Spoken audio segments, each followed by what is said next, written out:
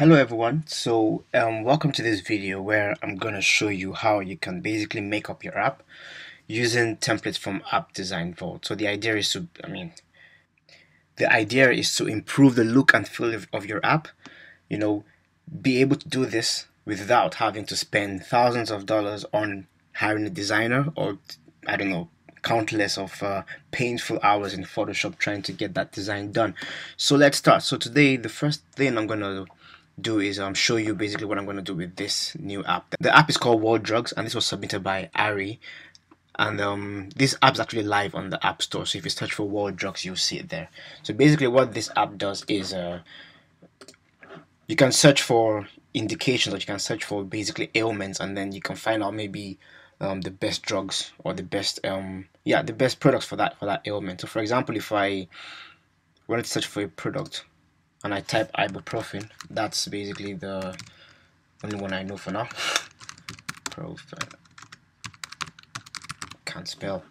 Okay, yeah, so I click on search and then it shows you different types of ibuprofen products, I'm guessing.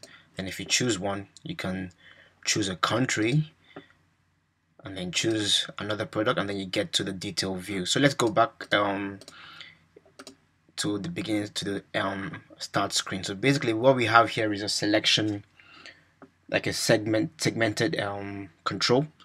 And we have a text input here and a button. So we've seen that um, Ari has actually used the basic iOS controls and tried to make it look a little bit nice but I'm sure we can do better right? So let's try and see if we can do that better. So I'm gonna um, design this screen. And then when you click on search there's a list view in here I'm going to design this screen as well.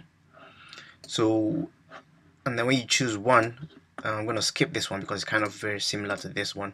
So I'm going to skip this and skip this and then design this screen as well. So we are going to have three screens that we're going to design using the template. So that's this one this one and that one. Alright so for that we're gonna I'm gonna use the social view template.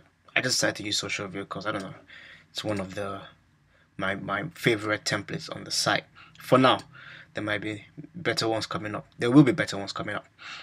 Alright, so for the segmented control, I'm going to use this one here and then change the text. We have a text input and we have a button and this actually just works very well. We're going to definitely use something similar to this, you know, implement the navigation bar as well. And then for the list control, um, let me see I'm going to use something similar to that. That's for the list control when you click on search products and that's for this one. Alright so let's get started. In the next video I'm going to basically start with this screen here. I'm looking forward to this I hope you guys are too and um, yeah watch out for the next video